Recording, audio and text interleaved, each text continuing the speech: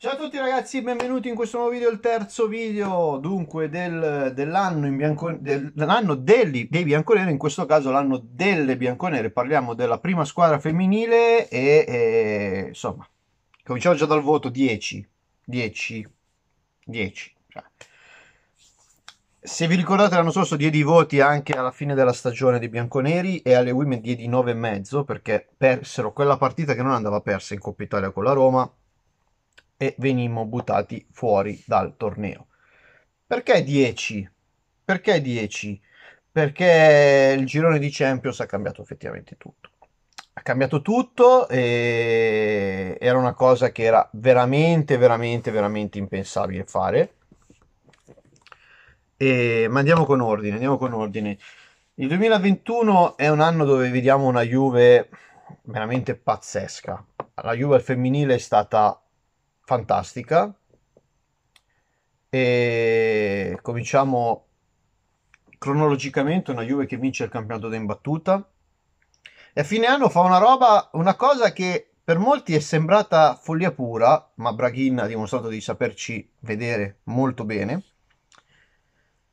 e cioè, e cioè cambiare, cambiare alcune cose. Cambiare portiere, adesso io ho voluto molto bene a Laura Giuliani e la reputo un ottimo portiere, ma chi mi segue sa, sa che a Laura Giuliani ho sempre, ho sempre detto che la Juve se voleva fare un, un, un salto di qualità doveva cambiare portiere.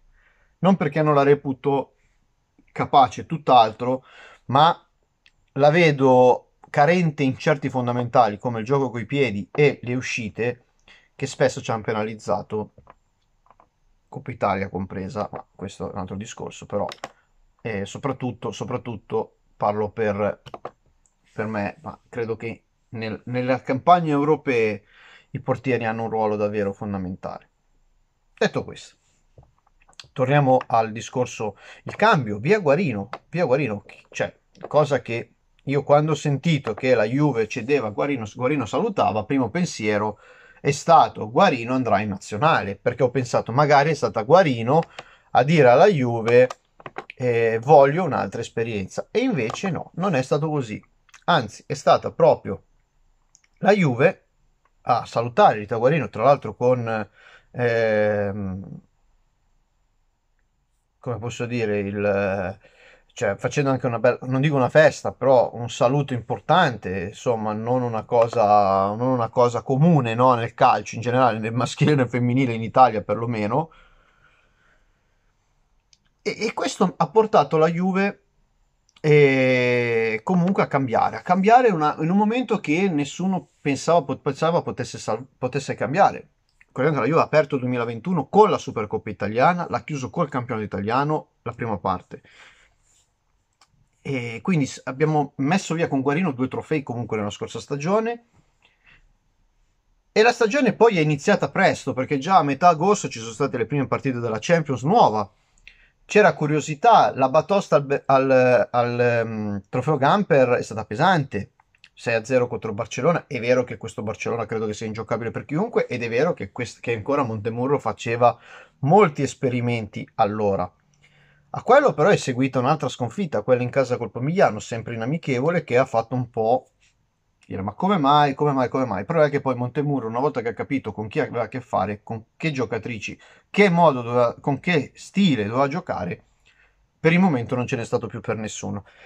Montemurro ha migliorato, la, ha migliorato il modo di giocare di questa squadra rispetto all'anno scorso, più che altro gli ha dato una dimensione più europea, eh, in campionato 11 partite, 11 vittorie, battendo tutti, soprattutto la cosa che viene spesso sottovalutata, battendo tutte in trasferta.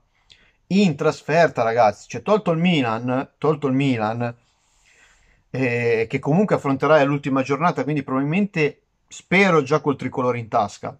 Tu hai battuto l'Inter, hai battuto la Roma, hai battuto la Sandoria, hai battuto il Sassuolo, la Fiorentina, tutte fuori casa, quindi vuol dire che le tue partite fuori casa, sempre con rispetto parlando, saranno probabilmente con squadre nettamente alla tua portata, quindi Napoli, quindi Empoli, quindi Hellas Verona. Ripeto, rispetto, ma questi 8 punti di vantaggio, l'anno scorso a, gennaio eravamo a 3 punti di vantaggio perché il Milan fece praticamente i nostri stessi punti perdendo solo lo scontro diretto. Quest'anno abbiamo 8 punti di vantaggio, segno che il campionato probabilmente si è equilibrato dal secondo posto in giù, ma la Juve continua a essere ingiocabile per chiunque. Questa è l'impressione, almeno in Italia.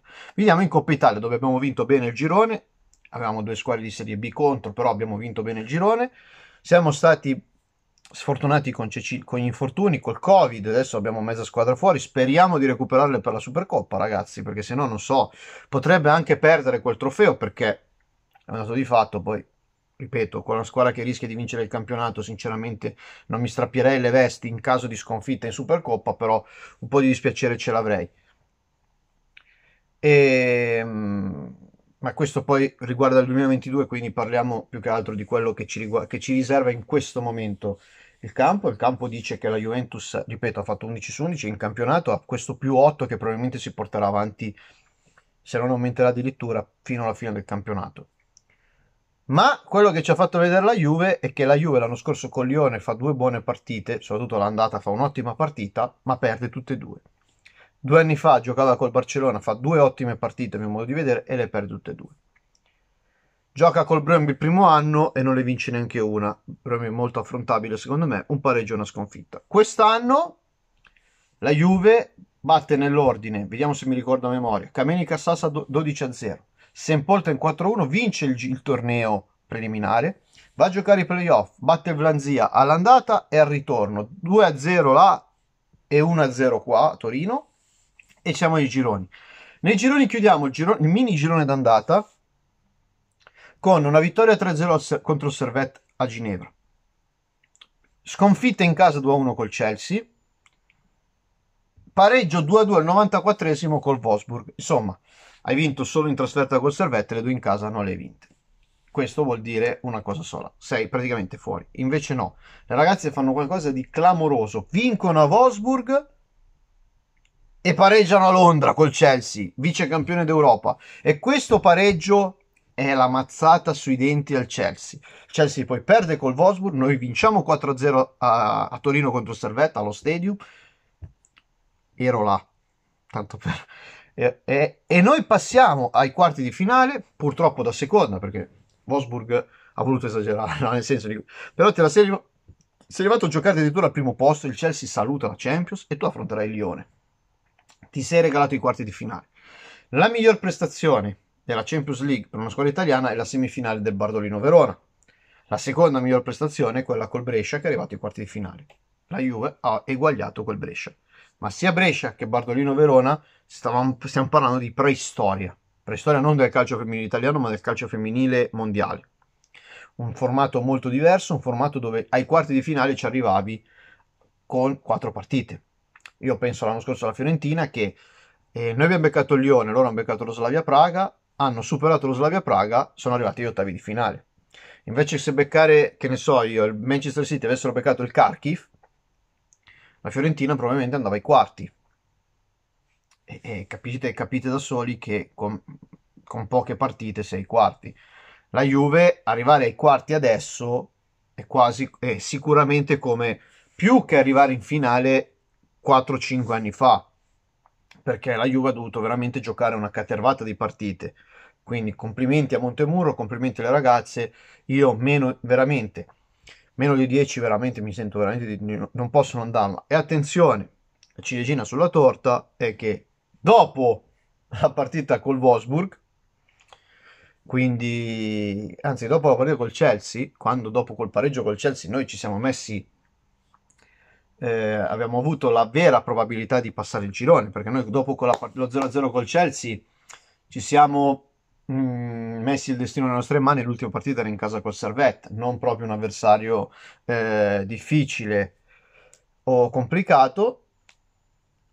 Ecco, quello ci ha portato, ci ha portato un attimo a, a far capire alla dirigenza, a far venire la bocca buona è arrivata Giulia Grosso, uno dei più forti talenti mondiali, la Juve, secondo me, ora è ufficialmente una big del calcio europeo.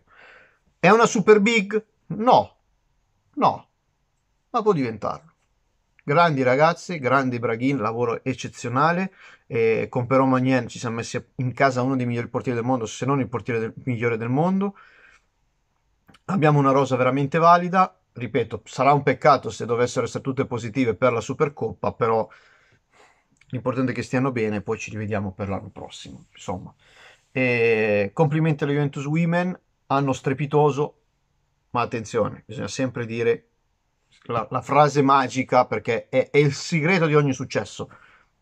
Non finisce qui, bisogna crescere ancora. Fino alla fine Forza Juventus Women 10, la stagione quasi perfetta, peccato solo per la partita al, tre, al Tre Fontane contro la Roma, ma ci sta, una partita ogni tanto, purtroppo la perde chiunque. Ciao a tutti ragazzi, al prossimo video.